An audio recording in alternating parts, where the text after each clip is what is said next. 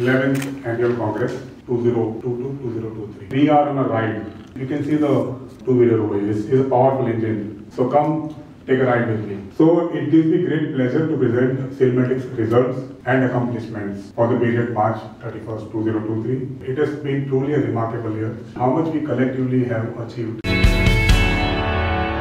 Our company went public. This is the first uh, MSME mechanical seal company which has gone public and our shares are listed on the Bombay Stock Exchange. Uh, they were oversubscribed by 16.6 times.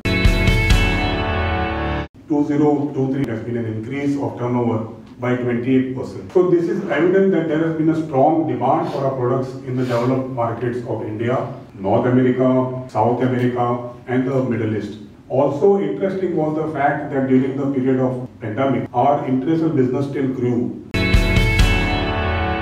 2023-2024 will see a lot of uh, technological development, advancement that the company is trying to invest our resources, money, infrastructure, manpower.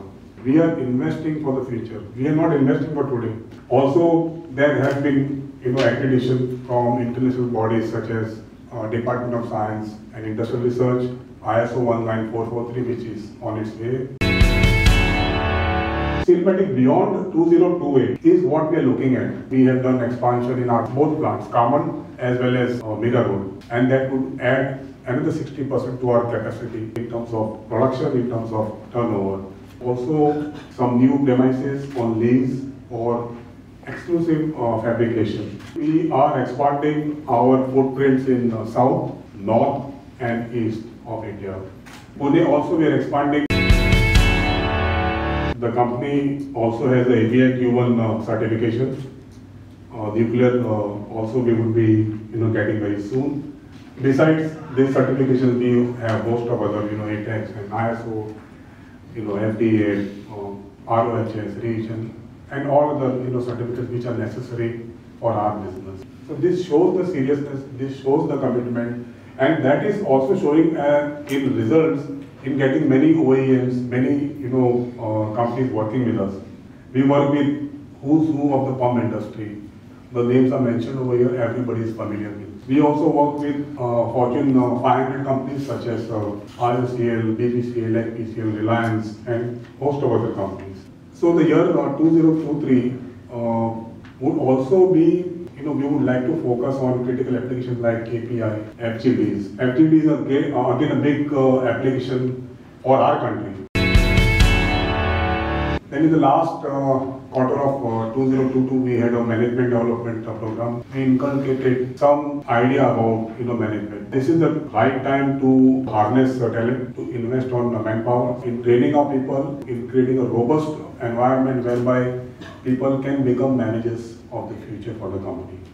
So we also have undertaken many uh, CSR activities. Amit Bhai is deeply involved in the blind organization, in uh, destitute care, women empowerment, and, and many other you know activities that we do on the CSR.